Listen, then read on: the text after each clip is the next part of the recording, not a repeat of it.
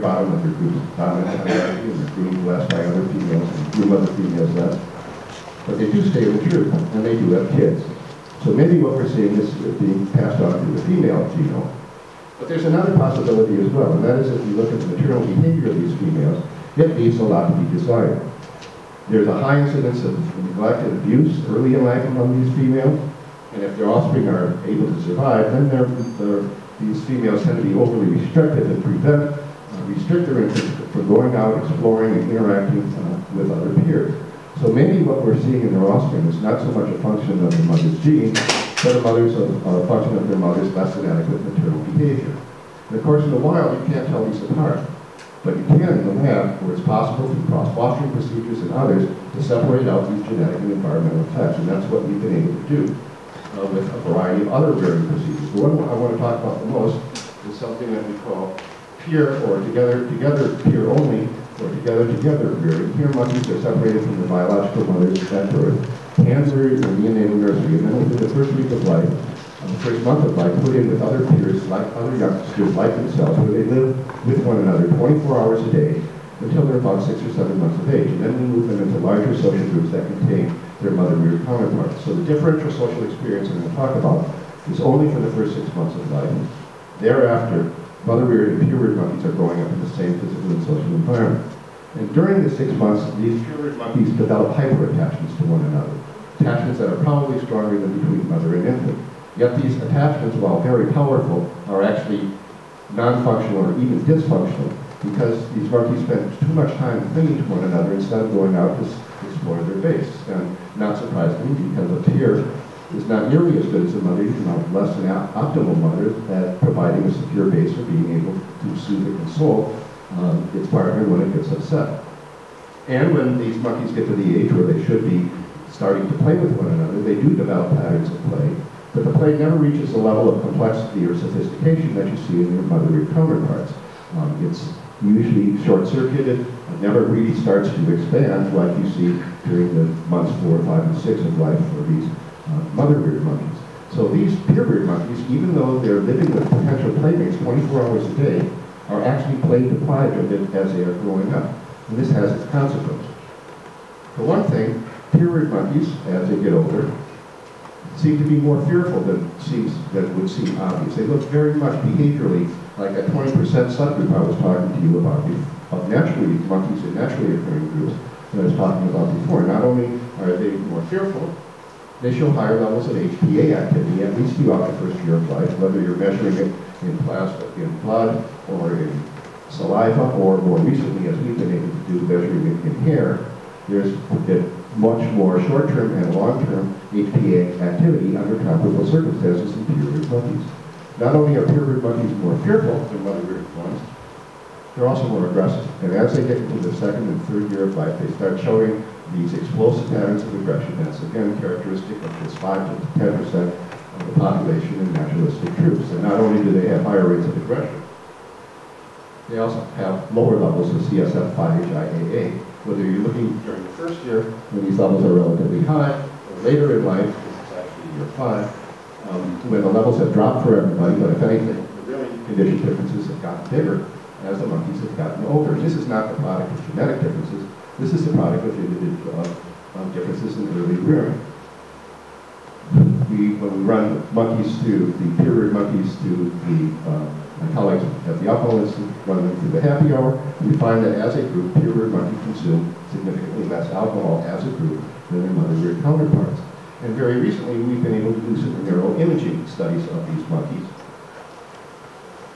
So here, for example, our PET scan data, published a couple years ago. These are looking, these are data uh, collected PET scans of two and a half year old monkeys who were either mother-reared or peer-reared for the first six months of life. And what you see here on the left is serotonin binding potential, and on the right is cerebral blood flow. And the comparisons are between front view, mother reared versus peer reared, top view, mother versus peer, side view, mother reared versus peer reared, and similarly for cerebral blood flow, mother versus peer, mother versus peer, mother versus peer. What simple inspection shows is that the peer reared monkeys' brains are lighting up a lot less than are their mother reared counterparts. When you look at the actual data, that turns out to be exactly the case. Throughout the brain, whether it's the thalamus, striatum, temporal, or frontal regions, the peer-reared monkeys in red have significantly lower levels of serotonin binding potential than their mother-reared counterparts. And I can superimpose a graph of showing cerebral blood flow, we would see exactly the same pattern throughout the brain. We are about to publish another paper looking at serotonin 1A receptors, again, PET scan data, the same sort of differences are emerging. We have in press a paper using structural MRIs, looking at three-year-old mother versus peer-reared monkeys. The, the MRIs are quite different between the two uh, rearing groups. So not only are these monkeys uh, showing this, this peer rearing having effects on their behavior and emotional regulation, more fear, more aggression, on their HPA activity, higher levels of cortisol, on their monoamine metabolism, lower levels of CSF5-HIAA, but even in terms of brain structure and function, these rearing condition differences are having profound effect.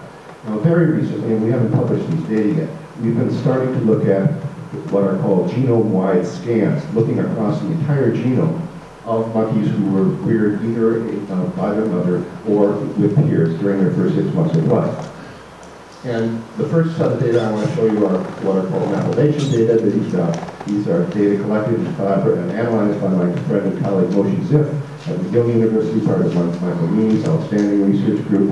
And Moshe's been able to do genome-wide scans, scan every gene in, in a particular sample to see whether that gene is methylated or non-methylated. When a gene becomes methylated, its expression is, is uh, at least in theory, reduced relative to non-methylated genes. And when Moshe did this, looking at uh, tissue collected from fully adult monkeys, eight-year-old monkeys, from prefrontal cortex on the one hand, and from lymphocytes, T-cell lymphocytes in blood on the other, what he found was astonishing. Fully one-fifth of the entire rhesus monkey genome is differentially methylated. Over 4,400 genes are either more methylated mother-reared or peer-reared across the genome in both prefrontal cortex and in lymphocytes. So here is uh, an example of this. This is chromosome by chromosome analysis. Top line is pre prefrontal cortex. Bottom line in each chromosome is, is a T-cell lymphocyte blood samples. If a bar, a bar, each bar represents an individual gene that's either significantly more regulated or methylated, if, if it's in mother reared, if it's above the line, significantly more methylated in peer reared, if it's below the line. what you see is there are a hell of a lot of genes being differentially methylated as a function of that first six months of life. About 2,000, about half of the genes are more methylated uh, for the mother reared, about half the genes are more methylated in peer reared, and the numbers and proportions are about the same in prefrontal cortex as in blood cell. So, as example, chromosome 1 and 2. Here's chromosome, just to take another example, 7 and 8. Here's the X chromosome. Here, interestingly enough, the predominant pattern, at least in prefrontal cortex, is that mother-reared monkeys, or those genes are overmethylated. The second thing that we notice from this analysis, and again, it's the first shot uh, thing, is that there's a lot of consistency and overlap in patterns between what you find in the prefrontal cortex in brain and what you find in, in blood cells. So here, for, for example, on the top line is for chromosome 1. In that particular region, the same genes that are being overly methylated in mother ear are also being overly methylated uh, in mother ear, in prefrontal cortex and in lymphocytes. So you can, what you're seeing in lymphocytes is essentially the same as what you're seeing in prefrontal cortex. Same is true over here. For those genes, which are more methylated in peer monkeys, you see the same pattern in prefrontal cortex as in blood. There's about 30% of all the differentially methylated genes have this pattern of overlaps. You see the same thing in prefrontal cortex as in lymphocytes. Here, so in X, you see the opposite pattern. Here, if it's the same genes that are over, over methylated in mother reared in prefrontal cortex, are over methylated in peer reared in, in, in lymphocytes. It's almost as if you're getting an immune response to either what's going on in the brain or reaction, counter, uh, or in what's going on contemporaneously associated with. Find regions like this as well, maybe 25% of the overall genome. So again, between those two sets, 55% of the genes that are differentially methylated, you have either predictable overlap in one direction or in the opposite direction in both brain and blood cells. And the reason this is potentially important is you can get brain cells only once, but you can get blood cells every week. And that's what we're doing now. We're now tracking this longitudinally, starting at birth. The other thing that's of interest is you can identify particular genetic pathways where the genes are involved, where we know what, what the genes are that are involved in these pathways. Here's serotonin transporter, for example. Again, again prefrontal cortex and, and lymphocytes. And here are the genes in this pathway that are differentially methylated. Are hypermethylated in, in mother reared. None of them are, for this particular one, are hypermethylated in nursery reared. And in some cases, for this set of genes, the pattern is the same. In some cases, you get an effect, MAOA in the prefrontal cortex, but not in lymphocytes with MAOB and MAOA, you get the opposite pattern. And you can do this for virtually every pathway that we know about. Here is CRH, the beginning of of the cascade of the HPA activity thing, starts off with the corticotropin releasing hormone. There are lots of genes that are very much affected by early experience. And in fact, here are the genes. And again, you see some overlap between prefrontal cortex and uh, T cells, some in the same, some where they're operating separately and some where they're operating in exactly the different, same different pattern. Okay, this is, these are, so these differential early experiences even can be picked out in patterns of differential methylation, even in adulthood, and it's affecting a fifth of the entire genome. We have another collaboration involved with Jim Heckman, an economist at of all things at University of Chicago, but more importantly, Steve Cole, a molecular biologist at UCLA. And Steve Cole is able to do microarrays, again, genome-wide. In this case, he's looking at leukocytes, again, taken from blood samples, but now looking at monkeys who are only four months old.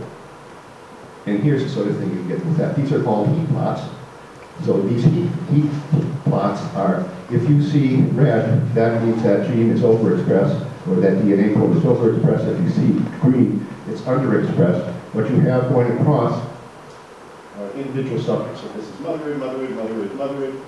This is period, period, period, period. These are individual genes. And what you see is almost no overlap. Motherhood, where motherhood are red, period are green. Where period, where motherhood are green, period are red.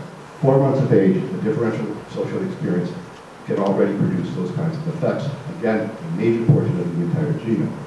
So these, these uh, early experience effects are not only affecting behavior and uh, biological processes and brain structure and function, they're also affecting gene expression. So I mentioned um, that there are, but there is, yes, still clearly some genetic, uh, heritable components of these individual differences. So I mentioned that at the beginning. I hope I've convinced you that early experiences can make an effect. The question is, are these genetic and environmental factors operating separately, or do they interact in some fashion? And we've been going at this question uh, most recently with, uh, over the last decade actually, it's not been by looking at taking a candidate gene approach to look for specific gene by environment interaction. And so when we take all candidate genes, we look at individual genes that have been usually identified by biologists psychiatrists as being important in the regulation of some kind of some aspect of emotion. These are genes that for humans have polymorphisms, is more than one version of the same gene, and for rhesus monkeys as well. So the one we started off with, the one that most people know about, is serotonin transporter gene. This is the gene that's thought to regulate the uptake of serotonin um, presynaptically. It's the same area of operation that where drugs like Prozac have their mode of action. And in both the human case and the rhesus monkey case, there's a polymorphism in this gene to the variation number of base pairs in the promoter region, such as the long version of this gene and a short version of this gene. And these different alleles are functionally different because uh, if you look both in the human case and the rhesus monkey case, the short version of the short allele is, is associated with less efficient RNA transcription than the long allele. And this has been attributed by some as underlying maybe the problem with serotonin metabolism that you see in certain aspects of depression. So the question is, does it make a difference whether you have a long or short allele? And if you have any knowledge of the human literature, it's a mess. Peter Lesch first reported, who does our genetics initially, uh, first reported for humans that humans with the short version of the serotonin transporter gene were disproportionately likely to be hospitalized for severe depression, to be, to be, um, to be um, uh, incarcerated for severe aggression, or to be suicide victims. But others have not been able to replicate that finding.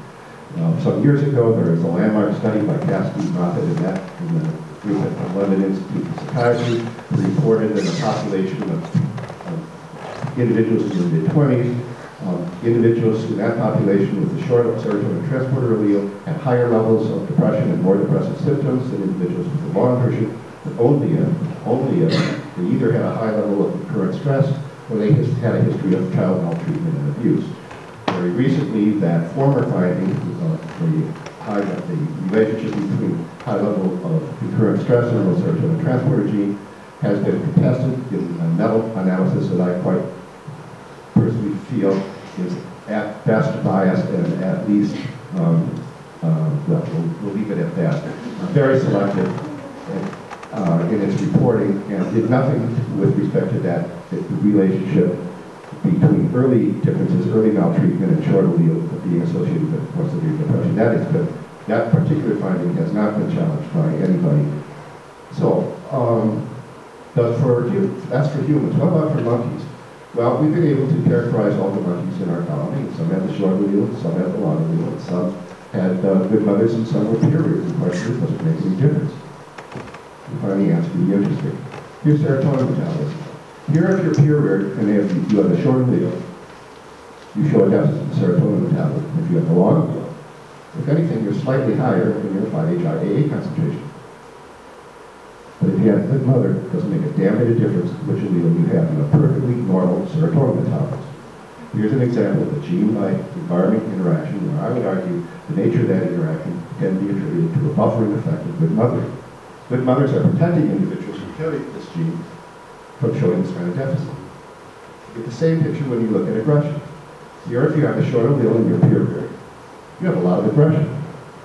Same allele, good mother, your aggression is lower, as lower, lower than individuals with the long allele, whether they're mother or peer at all. Gene by environment interaction, buffering effect of good mother. Even more dramatic when you look at alcohol. Here, if you have a short allele in your peer group, you drink to excess. But if you have that same short allele and you have a good mother, you actually drink less than normal. That may be a genetic risk factor for individuals with poor early environment, may actually be a genetic protective factor for individuals with good early environment.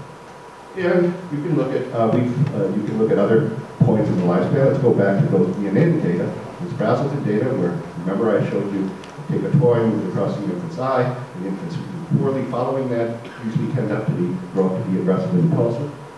You break the data down by gene and environment. And once again, nursery reared infants, short allele, poor oriented. Same allele, good mother, perfectly normal oriented. Once again, gene by environment interaction, good buffering, buffering by good mother. And we see it, I could show you other slides, HPA activity, reaction to separation. You see the same pattern.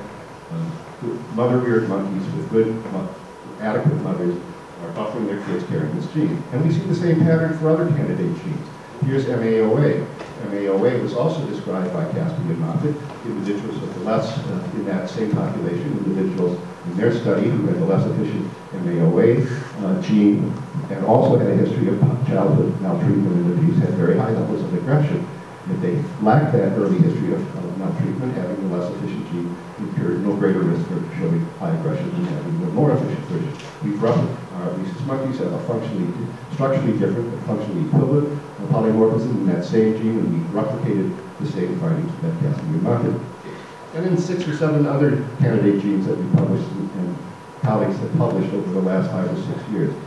Uh, BDNF gene, NOS, NOS gene, neuropeptide Y, uh, uh, mu opioid gene, um, uh, here SNPs of the CRH gene, again, for which there's a polymorphism in humans and a polymorphism in rhesus monkeys, and in every case we find that the less efficient version of the gene when paired with peer rearing leads to deficits, that same gene, yet less efficient version of the gene paired with mothering is gives you better or normal results. So here, for example, is the SNPs in the CRH gene, Christine Barr just published these papers. Uh, here's mother reared, here's risk, the so-called risk allele. Alcohol consumption, it's very low, very high in individuals who are reared individuals carrying the same allele but have a good mother are actually drinking less than anybody else. So consistently, we see this gene by environment interaction, buffering by good mothering. And what it's been telling us is good mothering is pretty damn important in protecting individuals who are carrying these genes that might, or alleles that otherwise might put them at risk for less than optimal developmental outcomes. So we've been spending the last couple of years really looking very carefully at these early mother-infant interactions. And I want to show you some illustrative videos. This first video is a two, two-month-old infant. It's at the age where it's starting to leave its mother. This is a low-ranking mother, has a very nice attachment, she has a very nice attachment with her infant. As the tape starts, a fight is growing, is brewing up to the infant's right, to the, to the stage right, and the infant wants to go check it out. The mother, being low ranking, can't afford to let her infant get involved in that fight because she doesn't have the club to rescue it, so watch what she does. See the infant looking out to see that? Grab, mother grabs the infant and grabs a flower. you can see the fight, the monkeys in the fight running away. Look at that face-to-face -face interaction. You have to understand that monkeys aren't supposed to do that.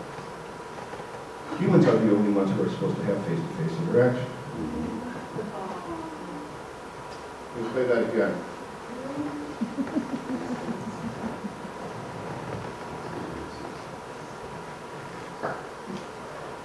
It's looking up. Mother grabs the kid, grabs the flowers. In the you can see the legs of the monkeys running away, so the fight's over. Face-to-face -face interaction. Again, this was thought to be exclusively human. Maybe chimpanzees would do it. But in 50 years of mother-infant studies and mother-infant interaction going back to Harlow and Hinde, nobody's ever reported face-to-face. -face. Here's a 19-day-old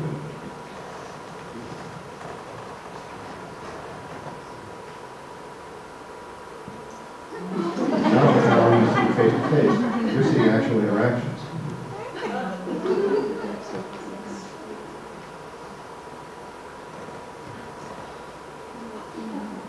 So when we started looking very early on,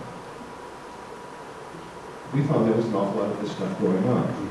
Here we are plotted the first three weeks of life, end of the first month, end of the second month, mutual gaze. The blue is to the mother, the red is to everybody else in the group, so it's all mother infant.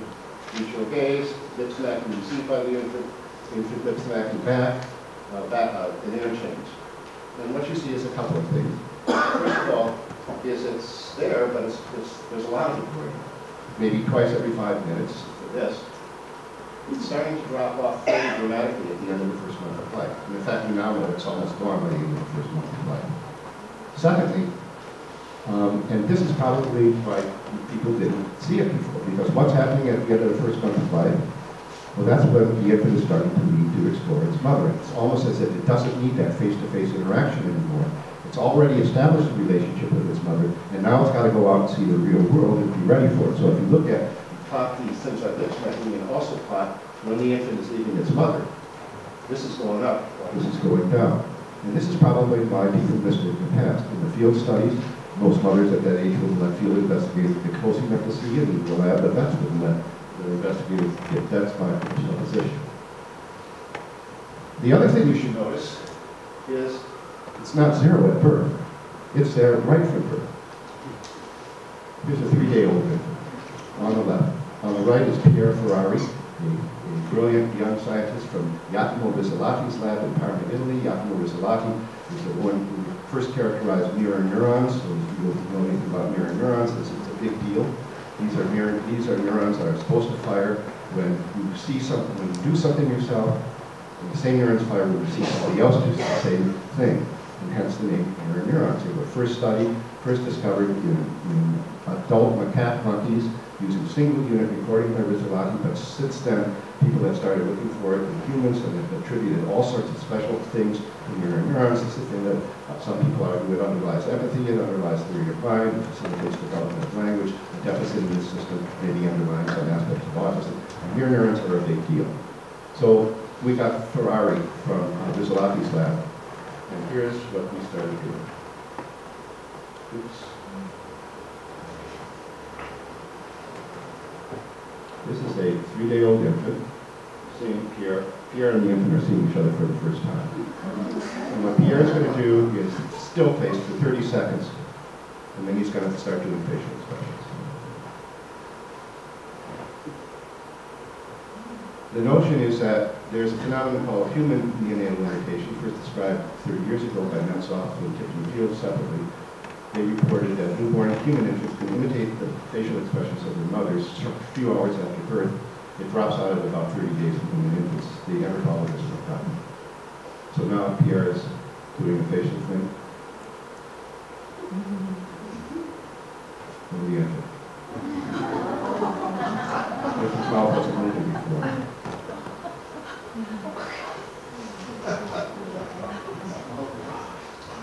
The Rizzolatti group thinks this, this early imitation is the first, in, first instance of mirror neuron activity.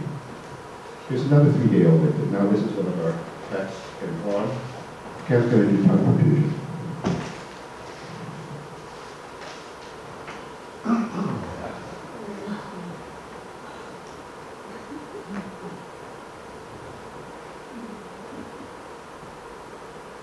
Sit. Sit. Sit.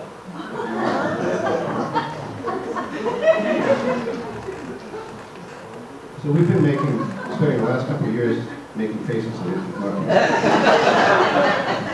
And we now know a great deal more about this. First of all, like the human case, it drops out early. It's gone by, by a week.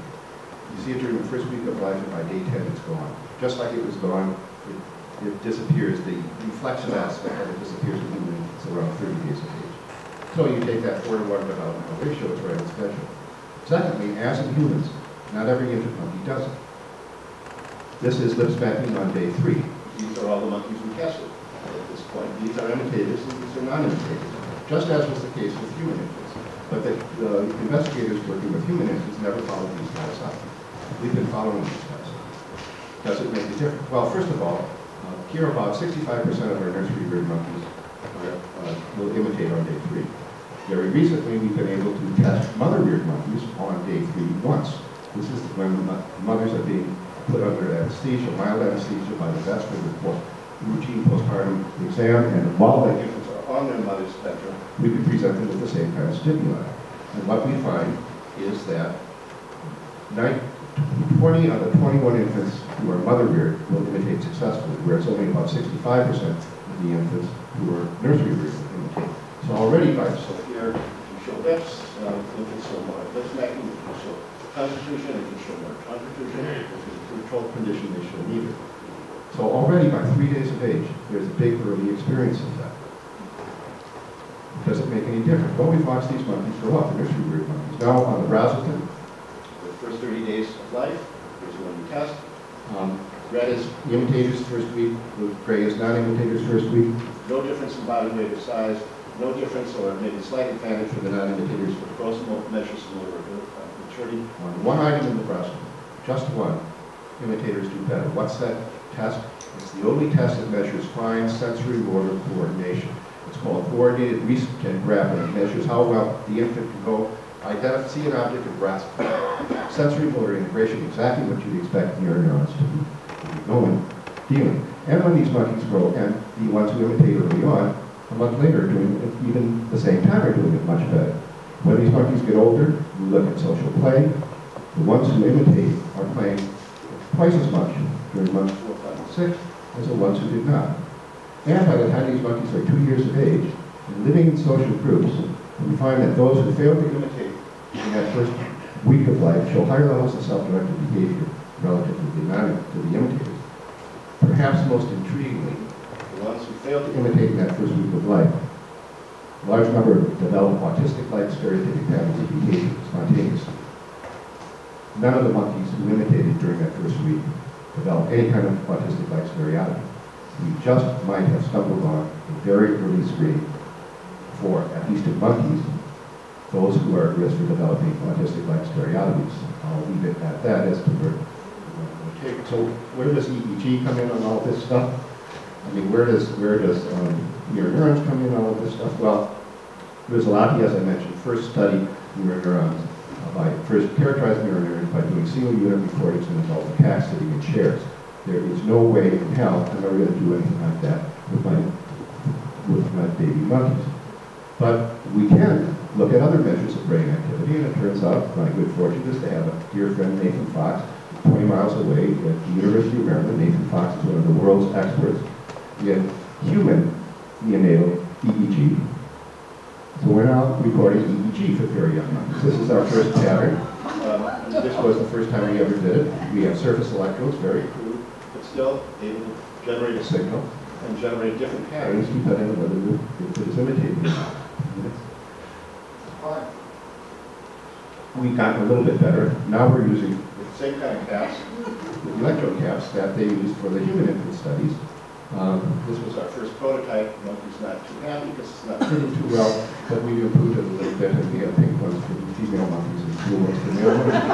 And when we do these things, what we find during periods of imitation is consistent and significant deceleration, de- uh, desynchronization of slow wave alpha in the parietal regions of the brain. Exactly what you'd expect to see if there were mirror neuron activity. But we don't, don't see this pattern when these monkeys are presented non-imitative stimuli. We don't see these patterns during control periods. We don't see these patterns during from non-imitative. So we now have identified an EEG pattern or marker that can go along with our behavior measures. And one of the things that we're doing with this stuff in presence of things is we're trying to look at eye tracking, eye tracking to see what these infants are looking at, imitators and non-imitators, look at how they react to different facial stimuli, uh, with looking at EEG and seeing whether we can take monkeys who by day three are not imitating and get them back up to speed by presenting them with lots and lots of facial and social imitative stimuli. The same they would be getting if they work with their mothers, because obviously,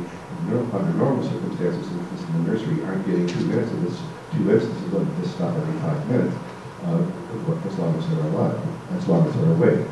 So before I finish by putting these, all these findings into comparative uh, perspective, I just want to acknowledge some of the people who have contributed to this, this latter imitation work.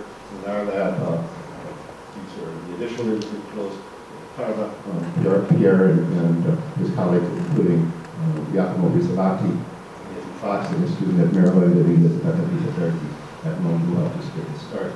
Let me fi- finish by putting the gene by environment interaction story into a comparative perspective. When we started uh, looking at gene by environment interactions, we expected that this would be, uh, we saw it in our rhesus monkeys as it had reported in, uh, in humans, and we thought this was a general phenomenon. We see it in all primates. So we started looking at it in other primates. And the first species we looked at, through a variety of circumstances, was the Barbary macaque. This is a species of macaque that's indigenous to Africa. It's the only one coming from Africa. The rest are from Asia. It's thought to be the ancestral species, by the way. Um, it can be found in Algeria, Algeria, Tunisia, Morocco. These are the monkeys who are on the island of Gibraltar, except in all these places they're almost gone. They are virtually uh, highly endangered. Um, on my own guess is 50 years from now you won't find any of them wild. But there's one place where, places where they're doing really well. And that is in a variety of nature parks scattered throughout Europe. There's one in, in Salem near Lake Constance in southern Germany. There's one in the Alsace region of France. There's one near Toulouse. There's one in the Eifel region of Germany. And uh, I think there's a new one in Britain. In each of these places, these are privately run nature parks where individuals who own maybe 200 acres of forest land will fence it cut pathways through, and then release maybe 200 of these Barbary macaques into the enclosure and then open it to the public. And every day during the summer, thousands, literally thousands of tourists plop, come to the park, plop down their 10 euros, pick up their cameras, pick up bags of popcorn, and spend the day eating the monkeys' popcorn and snapping pictures in their faces, young and old alike. If you tried that with rhesus monkeys, you'd have 20 lawsuits in the first 10 minutes because the rhesus monkeys would terrorize the tourists. They'd steal their cameras, they'd chase them away, they'd bite them, they'd take over the place and not let any humans in, just like they, they evacuated the Indian Ministry of Education when they took over the building in New Delhi a couple of months ago, and they took over a small town in northern India. These are aggressive monkeys, but barbaries are not. They're not aggressive to, to uh, humans, and they're not aggressive towards one another. In fact, they, males are get involved, actively involved in the carrying of infants. Here they're tossing the baby back and off camera, and rhesus monkey mother would never stand for that. And when they get into fights, it's all bark and no bite. They may threaten and, and yell at one another, bark at one another a lot, but it almost never escalates into the point of physical aggression. So we got really interested in what the serotonin function might look like. And we were able to, crook, get some blood samples from these individuals. We just recently got CSF, so we don't know the story about 5-HIAA. But we do know the story about serotonin transporter gene. And you may recall that for rhesus monkeys, with respect to serotonin transporter, this is a tough aggressive species, they have long alleles and they have short alleles. But what about Barbary macaques? When, when we looked at all of our samples from Barbary macaques, we couldn't find anybody with a short allele. We couldn't even find anybody with a long allele. Instead, all the Barbary macaques we sampled had an extra long version of the serotonin transporter gene. And we thought this might be a founder effect, so we looked at several, seven different uh, of these nature parts where the monkeys, founder monkeys had come from different places in the wild range. So it's not a founder effect. So then we got some data from pigtail macaques. Pigtail macaques are a little bit larger than rhesus monkeys. They're indigenous to Southeast Asia, Thailand, and, and Indonesia, but they never can make it into areas outside of the tropics. They're physically larger. They're often used. They're another. Uh, some primate facilities have lots of them. They're bigger than rhesus monkeys, but they're not nearly as aggressive. We already know that they have higher levels of CSF5HIAA when you match for size, age, and, and gender than rhesus.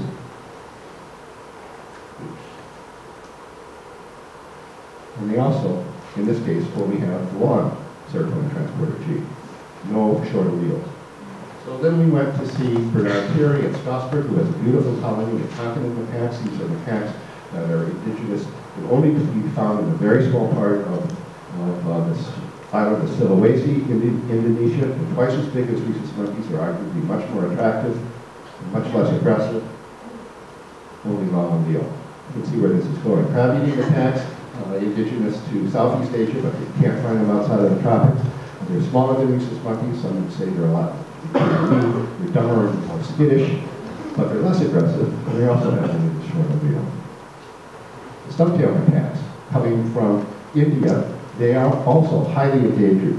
Uh, um, they, they're like, their range overlaps with rhesus monkeys, but rhesus monkeys can live in a hell of a lot of places that stumptail monkeys cannot. So years ago, the famous primatologist Frans de Waal cross-fostered a group of rhesus monkey infants into a stumptail group, and we then ended up with very mellow rhesus rhesus monkeys, as long as they stayed in the stumptail group. When they got out, that's a different story. Only long allele. So finally, we looked at, we got some blood samples from Tibetan macaques, from obviously Tibet. Just as we were analyzing these samples, I got a call from my friend and long-term colleague Carol Berman, uh, who's probably one of the world's experts in macaque mother-infant interactions. She's been studying these for over 30 years. And she had just come back from a field visit to Tibet, where she had been commissioned by the Chinese government to check out these Tibet, Tibetan macaques to see if they might be suitable for nature parks, just like the macaques were. I got this call from Carol saying, Steve, I don't know, don't know what to do. I've just come back to the field to check out these uh, Tibetan macaques. The literature says they should be pretty mellow. They're the most aggressive monkeys I've ever seen in my life. They make rhesus monkeys look like pansies. They push tourists off of nature trail paths. So, Carol, that's the best news I've heard in a long time because we just genotyped them, and they're a homozygous for a short version of this allele. Now, I'm the last person in the world who's a genetic determinist, and I certainly don't believe that there's a one-to-one relationship between any one gene uh, and its general alleles and any complex pattern of behavior. But you have to notice there's more than a apparent coincidence of this kind of relationship. But there's something else in this figure, and that is if you look at all of these, only one, it's got a polymorphism. And when people have looked at other primate species, there's one exception.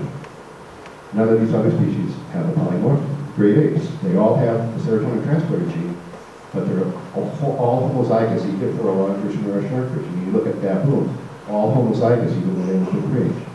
And if you look at these other candidate genes, AOA, TR4, uh, genes that I described earlier, which humans and rhesus monkeys have a polymorphism, none of these other species have those polymorphisms. They've got the gene but not the variation.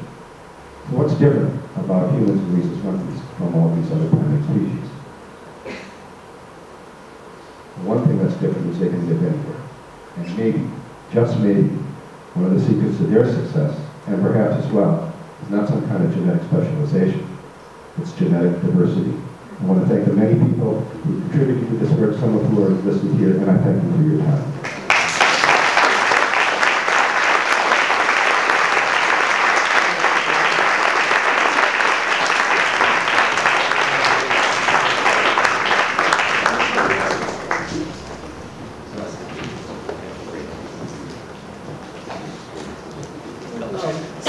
This is not obviously one of our regular meetings, uh, this being an award lecture, we the same sort of um, uh, sparring match with the speaker, but he has very kindly agreed to take a few questions. Um, and so let's go straight into that. If, Maggie, if you can find our roving mic here, which I don't uh, see, I'd be grateful. Um, while we're waiting for the roving mic, I'll use the opportunity to ask a question myself, Dr. Suomi. Thank you for absolutely beautiful work and, and, and brilliant presentation. Um, the, there's a very tiny little thing, I'm only saying it because we're looking for the mic. Have you noticed, or has somebody else noticed, that rhesus monkey females always cradle on the left? Um, Yes, it's working. maybe we had a left-handed photographer. Somebody's actually studied that, and it's 50-50. There- There is a slight bias towards that. There's a slight, uh, there's a a fairly large uh, literature on both handed lateral, handed laterality and neuroimaging laterality. And it seems that A, um, some monkeys are right-handed and some are left-handed. A few more are right-handed than are left-handed, both in hand preference and reverse pain. Um, there are developmental changes, so individuals tend to become more right-handed as they get older, which I think is uh, something incomparable. But the, and there is for sure laterality, and it's, it's a, comes, becomes a big issue when you start looking at those areas and the equivalent of it. And there is some outstanding work done by Bill Hopkins and others working with chimps on the one hand and macaques on the other. Hopefully we will collaborate with, with him. But I think if, if that left side uh, nipple sorts of thing um, represented anything would be relatively slight and probably random selection of the shots. Well, that, there you have the problems of small sample sizes, because I counted seven out of eight left recranium in your... So we don't have But our but I, own... but we might have put the slide in, so we, we might have put the slide in backwards too. So uh, uh, we- uh, uh, for some reason, we don't have our roving mic, so we're going to just have to have uh, shouting from the audience. Um, and Jaak Panksepp, uh, it looks like he wants to shout. Yes, Steve. Uh, it's really wonderful to see, uh, you know, a presentation that in so much information with such a coherent story. Um, thanks. Uh, that's kind of a two-part question. One is simply a factual one. Uh, since uh, all this research, in a sense, started with uh, trying to understand social bonding, has your laboratory already initiated a program to work out the mechanisms of social bonding? Does oxytocin come to mind? Yes, uh, uh, Yes, we're- tell we're- us what's happened. Yes, uh, for uh, some of you, they know that uh, Sue Carter, who I call uh, Professor Oxytocin, the oxytocin lady, uh, and I have been talking for almost 15 years about using her interest in studies of oxytocin uh, and providing with her uh, studies of monkeys, particularly the early rearing differences, because that's where I would expect to find major differences, uh, either in periphery or even in brain. And for years and years, she said, we don't quite have the, either we nor anybody else has a decent oxytocin measure. Uh, As you may know, the group, uh, Insel and uh, Winslow at Berkeley spent 10 years trying to find find any, uh, receptors in the brain uh, in rhesus monkeys. Um, they think they've got the assay now. We think we've got the uh, appropriate postdoc who's actually working in an NIMH lab. Um, uh, Lisa Pfeiffer, uh, uh, got her together with Sue, and we are, have initiated uh, both looking for oxytocin genes and their polymorphisms, um, and uh, getting measures of oxytocin production, uh, such uh, peripherally if not centrally, um, in our differentially reared monkeys. And I would be amazed if we don't have a nice story to tell, and I would love to be the first to tell it to you. Too early. Uh, Let me ask that second part, which is kind of a more socially relevant question. Uh, There's a lot of debate right now to what extent the primate uh, information should be informing us about human nature in a very practical way. Uh, you know, People, ever since Bowlby, have used the environment of evolutionary adaptation, EEA, as kind of a shorthand for saying there's something very important involved, evolved in our species that if we could understand the EEA, it would guide us in better child rearing practices. And uh, since you have done more work on, you know, child rearing in any primate uh, that's really been followed in detail, do you have anything to share with respect to how we should be shifting our child rearing policies? Can, did everybody hear the question? Okay, um, let me, uh, this will be a multifaceted answer. What I have to share is some, some history and, and some advice, uh, if not instructions, I've get- been given by my uh, administrators at the NIH in the Public Information Office who say, whatever you do, interviews or presentations, stick to the monkey. Uh, Sometimes when people didn't, uh, a la Fred Goodwin, about 15 years ago, uh, talking about our data, um, he no longer was the head of, uh, of um, NIMH when he was done uh, making allusions of the, the uh, parallels between aggressive young male monkeys and what might be going on in the inner cities. Um, But uh, I will pass on some uh, information uh, or a comment that Robert Hinde made uh, following one of my presentations a a few years ago. And he said, what this work shows, and I'm quoting Hinde, is that the best investment you can make is providing support to the mother.